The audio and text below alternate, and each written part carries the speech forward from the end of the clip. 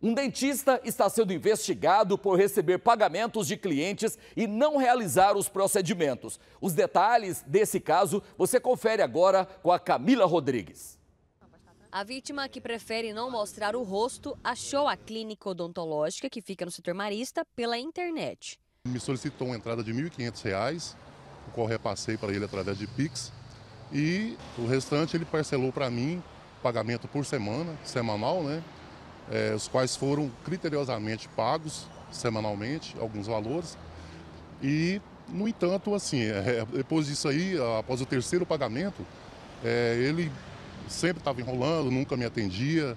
Então eu já cheguei à conclusão que eu tinha caído num golpe. A negociação com o homem que se apresenta como dentista foi de quatro implantes no valor total de R$ 3.500. O problema foi que, quando tentou marcar o procedimento, só ouviu justificativas. Tentei várias vezes entrar em contato com ele através do WhatsApp. Por fim, ele nem me atendia mais, não respondia minhas mensagens. O argumento dele é uma história de minha esposa está doente, está internada. Eu tive contato com outras vítimas quando estive lá no consultório. As vítimas que estavam à procura dele também me narravam a mesma, a mesma história. A vítima tentou reaver o dinheiro diante da situação, mas nada foi devolvido. Ele falou, não, eu vou te devolver dia tal. Esse dia tal chegou e ele não, ele não, não, não honrou, né? E várias vezes tentei negociação, mas foi totalmente infrutífero, não, não teve como. A vítima registrou um boletim de ocorrência aqui no 8 Distrito Policial, que está concentrando todos os inquéritos sobre esse caso.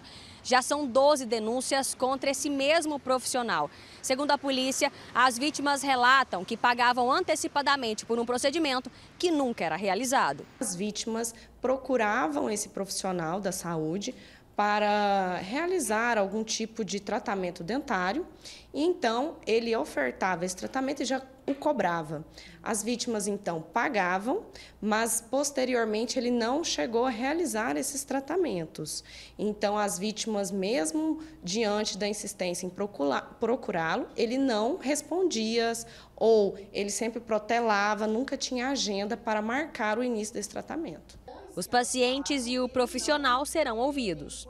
Nós intimaremos as vítimas para que elas nos forneçam mais informações, além do que consta no registro de ocorrência, é, comprovantes de conversa, comprovantes de pagamento, porque nem todas apresentaram é, esses elementos de informação, que é necessário para subsidiar a investigação.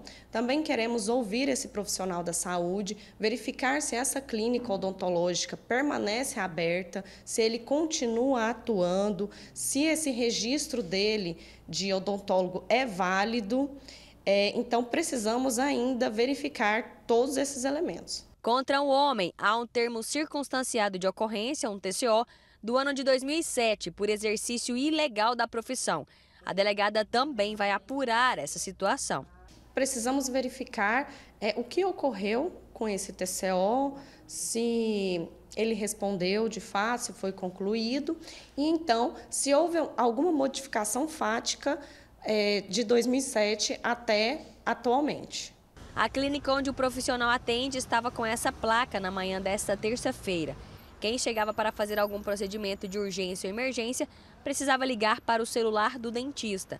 Na internet, são inúmeras reclamações contra esse profissional. São denúncias de procedimentos pagos e não realizados, além do comportamento grosseiro do dentista. Além de, de, estar aplicando o golpe, que é a suspeita principal, é a suspeita de que ele não seria formado, não teria formação como odontólogo, né? Isso, pelo menos, que um TCO é, encontrado aí é, é, está dizendo. Nós tentamos é, falar com esse dentista por telefone, mas as ligações não foram atendidas. Então, você que foi vítima, você que se sente aí é, prejudicado por esse dentista, procure o oitavo distrito policial no setor Pedro Ludovico, onde as investigações estão concentradas.